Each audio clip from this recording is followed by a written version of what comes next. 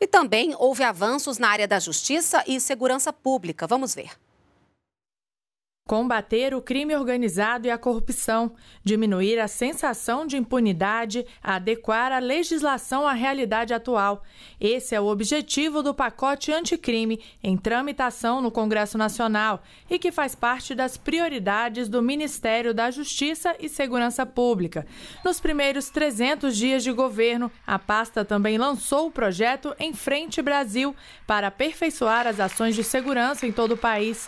O projeto está em andamento em cinco municípios, um em cada região do país. Esse projeto só é possível através da união do governo federal, não só aqui do Ministério da Justiça e Segurança Pública, mas dos demais ministérios, para o enfrentamento dessa criminalidade violenta. Para reduzir a criminalidade, o Ministério da Justiça e Segurança Pública também isolou as lideranças criminosas em penitenciárias federais e recompôs os efetivos da Polícia Federal, Polícia Rodoviária Federal e Departamento Penitenciário Nacional. Outro avanço no campo da segurança pública neste governo foi a aprovação no Congresso Nacional da medida provisória 885, que agiliza o repasse a estados e ao Distrito Federal de recursos decorrentes da venda de bens apreendidos relacionados ao tráfico de drogas.